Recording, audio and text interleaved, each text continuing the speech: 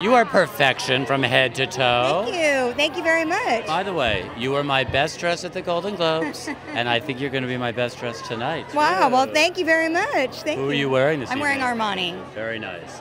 Beautiful in the front, but it's also beautiful in the back. Oh, thank you. Yes. That is your theme this award season. I have to show you this Taffin bracelet, which I mean, can this just come home with me? Well, it's it just got.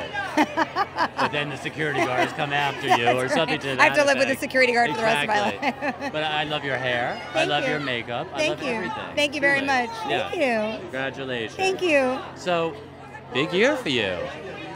Two nominations, Oscar nominations. How are you feeling? Um, I'm feeling great. I'm, I'm really just, I've never been to the SAG Awards before. This is the first time? It's my first time, and uh, yeah, it's. I'm just sort of keeping my eyes wide open. I'm excited to celebrate with all of my colleagues, and uh, yeah, it's a wonderful time. now, really. who are you going to sit with? Because that's tricky.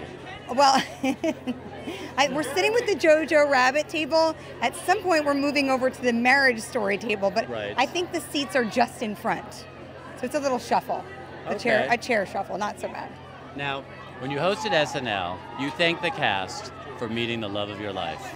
How did Colin feel about that? Uh, I hope he felt good about it. Thank you for watching. If you want more extra, hit the subscribe button and the bell so you'll never miss a video.